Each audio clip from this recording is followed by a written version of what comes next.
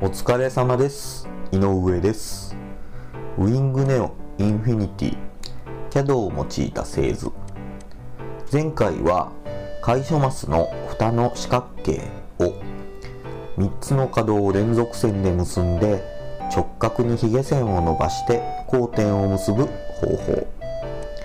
マスと平行な線で角度を指定して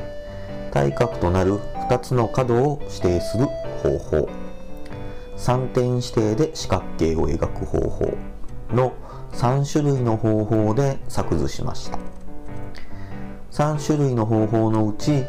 最後の3点指定が最も労力が少なく済みますので今後も通常はこの方法を利用していきます。今回はブロック塀と擁壁を編集メニューのフィットのコマンドを多用しながら作図したいと思います。今回はこの擁壁の裾とブロック塀の部分を作図します。一覧で確認すると34番59番。34番59番ともに擁壁となっは39番38番を経て31番の方向に伸びていること。厚みが 100mm であることがわかります。点の一覧でも39番38番ブロック角。31番ブロックとなっているのでこのまま作図にこの点を使うことにします。作図画面に戻ります。まずはスナップメニューの確認。プロットマークスナップになっていることが確認できたら線線分のコマンド単線分を選択して34番と59番を結んで擁壁の裾を作図します。レイヤー表示ウィンドウからプロットマークと点名のレイヤーを非表示にして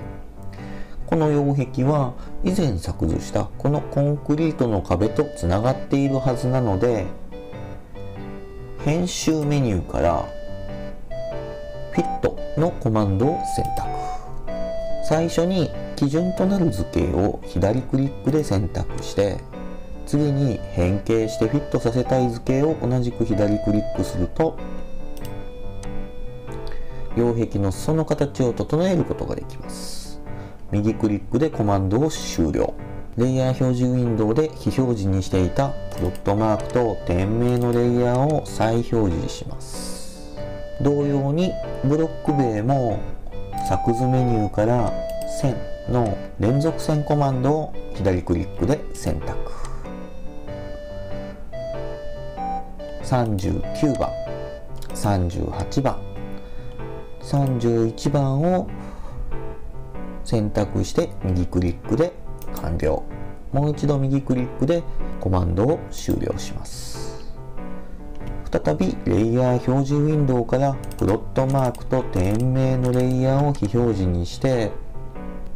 下図によるとブロック塀の厚みは 100mm0.1m なので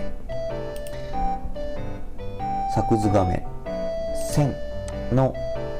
平行線コマンドを選択。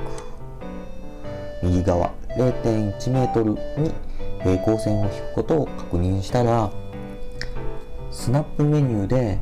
単点スナップを左クリックして有効化。先ほど作図したブロック塀の角を順に選択していきます。3点選択して右クリックで作図を有効化。もう一度右クリックで平行線コマンドを終了したら次に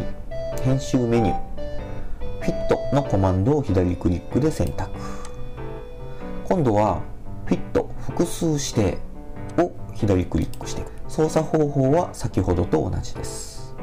基準図形を左クリックで選択して変形させたい図形を選択して右クリックで作図を有効化もう一度右クリックでコマンドを終了してこれで擁壁とつながったブロック塀を削除することができましたレイヤー表示ウィンドウからプロットマークと店名の表示を戻してスナップメニュー単点スナップを左クリックで解除して本日の操作は完了です。本日もお付き合いいただきありがとうございました。